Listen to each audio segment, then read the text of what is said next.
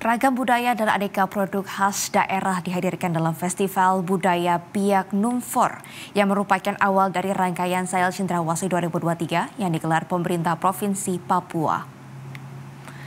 Festival Budaya Biak Numfor yang digelar di kota Biak ini menampilkan ragam budaya dan kesenian dengan diisi beragam pameran aneka produk hasil dari usaha mikro, kecil, dan menengah atau UMKM Biak Numfor. Budaya yang ditampilkan di antaranya kegiatan adat setempat seperti rangkaian pernikahan biak. Bupati Heri Aryo Naab memastikan Festival Budaya Biak ini merupakan awal dari program besar untuk promosi budaya Papua, yaitu Sail Cendrawasih 2023. Acara budaya ini akan digelar di empat kabupaten, yaitu Biak Numfor, Yapen Waropen, dan Kabupaten Sarmi.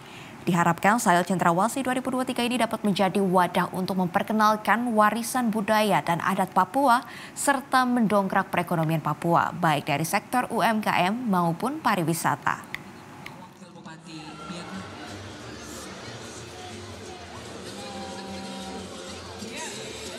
Lewat Festival